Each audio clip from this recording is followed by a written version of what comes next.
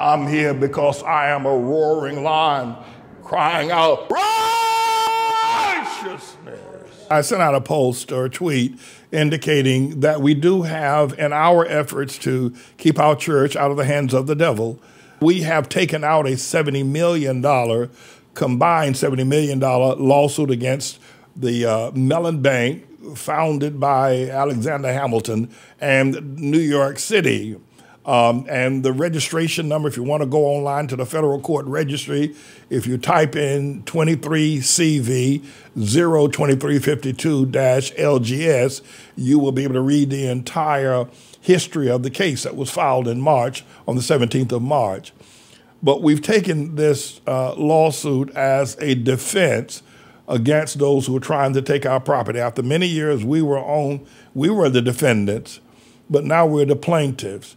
And I want to just keep everybody informed about this massive battle. The Mellon Bank is a $52 trillion institution that got started with Alexander Hamilton uh, back in 1784.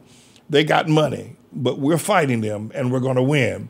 And I just want to keep the information flowing about our fight. Um, and we're asking you to pray for us. I've taken this matter up as a personal uh, if you will, lawsuit against the bank and against New York City. Uh, mainly because I, doing it that way, I can do it pro se. I can be my own lawyer. Now, one, many have said if you, uh, he who represents himself as a, own, as a lawyer has a fool as a client. That very well may be true. But I have to tell you, I have been swindled by so many lawyers who've made deals with the city of New York, who've made deals with the Mellon Bank, who've made deals with other lawyers, and they just took our money and didn't bring us to the place of setting our church free. So now I'm going forward. I'm in a process now of studying and preparing to get ready uh, to meet the trial situation, but I ask that you would pray for us. And at some point, um, our church can hire a lawyer and the church can take the same lawsuit, or every member of our church can file a lawsuit because it's a civil rights issue and the injury that's been done to all of us as a result of this 20 year, if you will, non relenting torment and anguish, uh, this death by a thousand cuts that we as the members of the ATLAH Church has suffered. Any member can take out a lawsuit against the city of New York and be successful. Now they're going to fight back with everything that's within their power. They're going to fight. I know that. That's why I need your prayers. But I posted this yesterday, and I want to read some of the comments that people responded to. Uh, someone named, well, Eunice Carter, who's a member of the church, uh, says she's fervently praying Evangelist Charles Ogba said, I pray for your victory against all enemies of the church. Kenneth Mateo says Hamilton, talking about Alexander Hamilton, was a traitor. That's why they gave him a Broadway show. They're all vichy.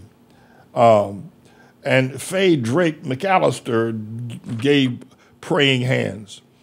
Ronnie Jerome Stanton said, God, let your will be done.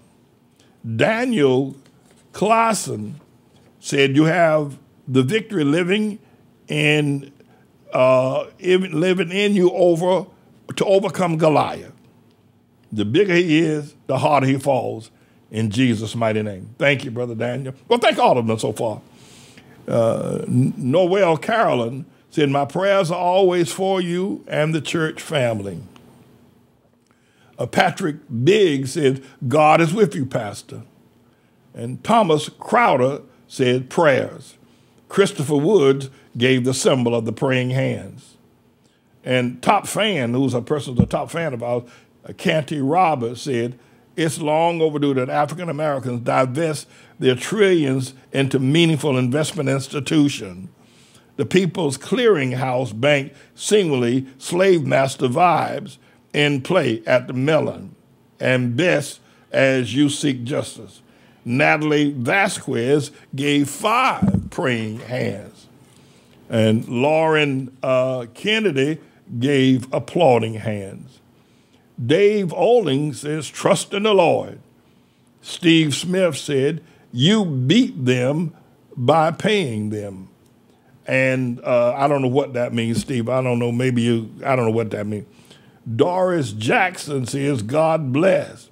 Another top fan, Richard Deneglio, Denagle rather, says he's praying.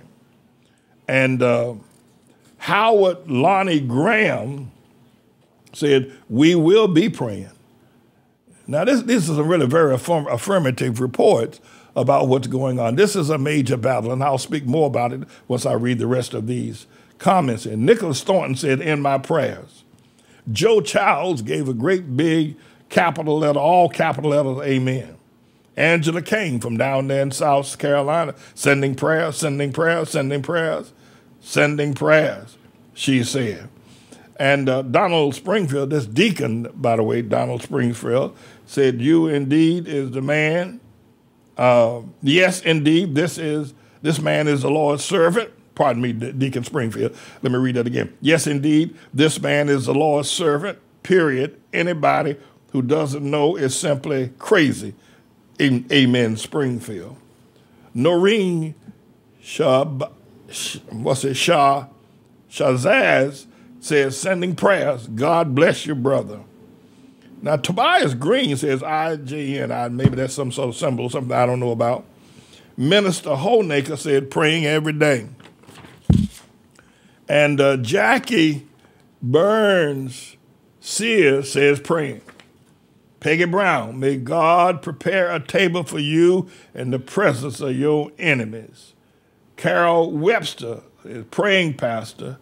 J.R. Moore, say this out loud. Amen. Now, that's something that's a little difficult for me to read. I'll get to it a little bit later. John Common, prayers, brother, sounds like some sort of a political agenda. Warren Houston said, Pray up Pastor Manning. And Dean Forward, now this of all those very positive prayers and amens and yes sir and praying and all those very positive, I got one negative here. I'm gonna let y'all hear that one too, and then I'm gonna won't inflict myself upon you any further. Dean Forward says, I once like you for how you had the spine to stand up to, as you call him, the long legged Mac Daddy Barack Obama. But when I saw that after the nightmare that was the Obama administration, you then turned on President Trump. I was very disappointed in you. I wish you well in your legal fight with the bank, but I have been unable to unwind all your drama to really know if it's the banks I distrust or if it is you. You know, I'm going to read the rest of this. Uh, let me say something to you, Dean.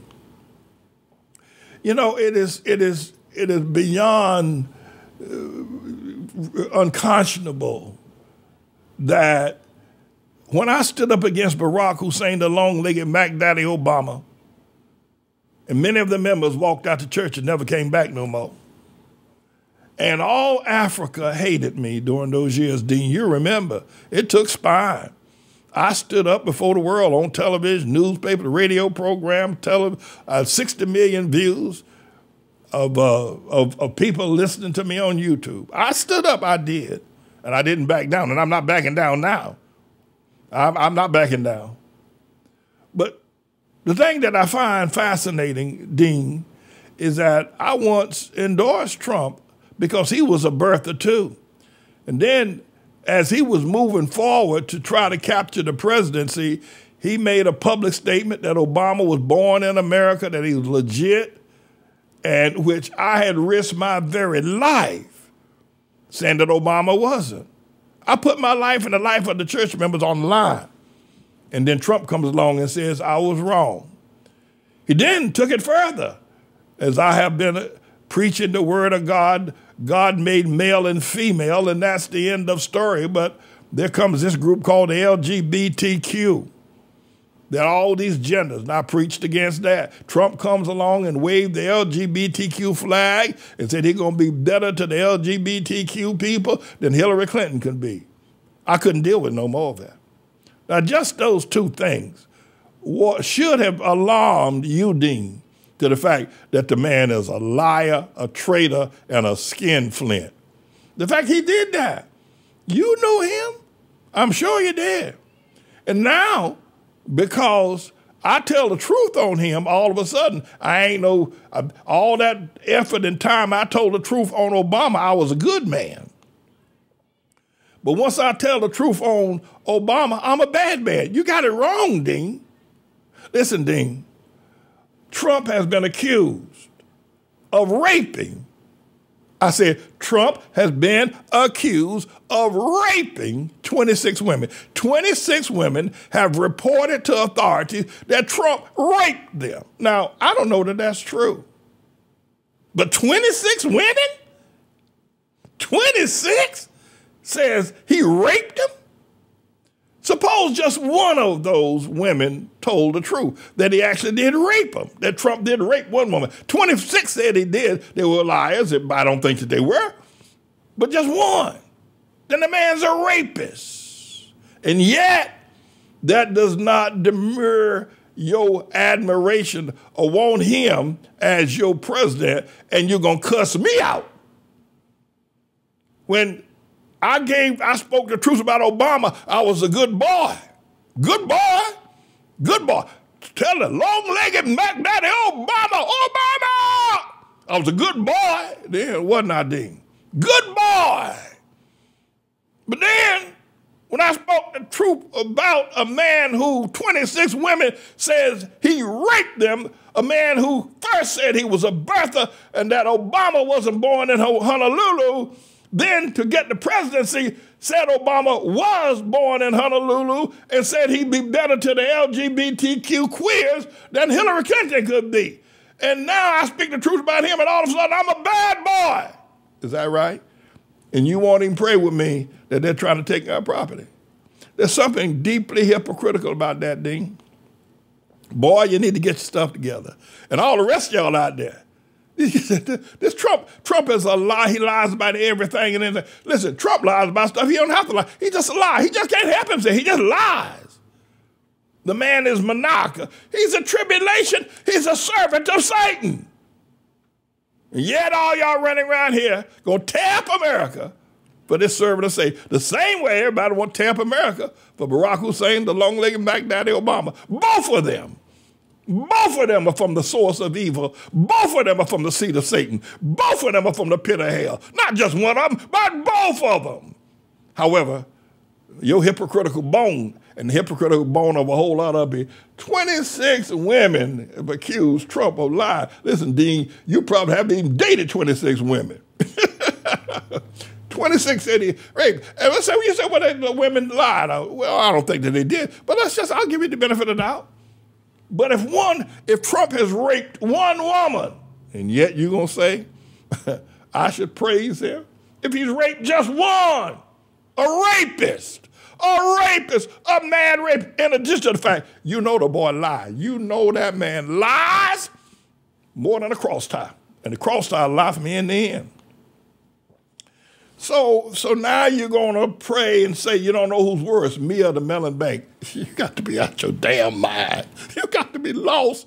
You're just trying to stab. You're just trying to stab me because I told the truth on Trump. It ain't that you don't like me. You just want me to stop telling the truth on that boy, because I tell the truth, and everybody know I told the truth, and you know it's true. You, Dean, you know what I'm saying about Trump is true. You just were willing to swallow his piss rather than swallowing Obama's feces. That's all there is to that. And everybody knows, case closed, full stop, boom shakalaka goes right there.